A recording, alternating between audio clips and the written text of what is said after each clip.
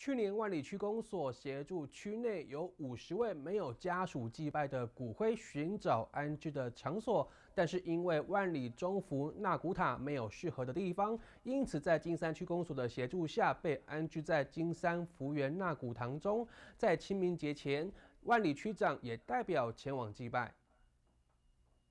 万里区公所在去年为区内四十八位无主先民以及两位有主的先主寻找安置，终于在去年中原普渡前，透过市府殡葬处与金山区公所的通力协助之下，在金山纳古塔中找到能够安置这五十名先主的位置。而前区长日前也承诺，每逢清明中原都会前往祭拜，而今天也在万里区长的带领之下，到纳古塔来祭拜。祈求先民庇佑。每年清明节的前夕，跟中那个就是那个中元节，我们都会来公所，一定会来由区长亲自来这边来给他祭拜。然后当那个诶清明节跟中元节的那个当日，我们联合法会的时候，我们也邀请这些先人回到那个中母纳古塔他的娘家，然后我们一起大家共享那那那边的祭品，然后跟那边的朋友聊聊天。还有一对基隆的张姓夫妇是当初发现这五十位没有家属。祭拜的先民，从民国七十三年整理到去年，发现多位先民的骨灰坛都破损了，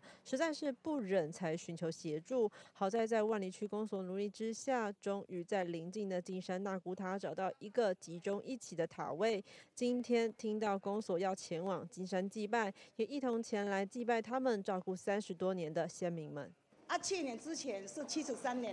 开始，是我们帮这四十八位先人他们扫墓拜拜，到那个去年前年前年，因为那个古瓮已经破了进水，所以我在要求那个万里区公所区长帮忙帮他们的忙，那区长很好，就帮他们诶迁骨骸、晒诶晒骨骨头，这样装新瓮，那么当然做总共五天的大法会。因为总是有政府机关出面在帮助他们，是最好最好的。没有政府机关，以后以后如果民间的话放弃他们，到最后是。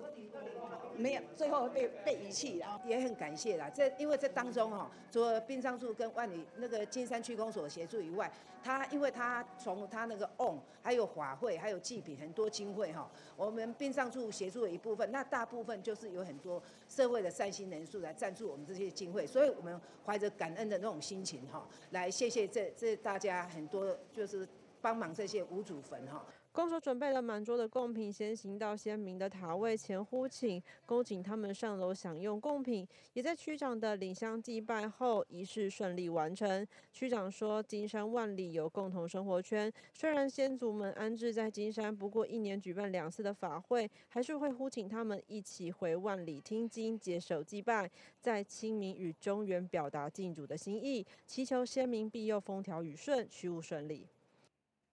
记者廖平涵金山采访报道。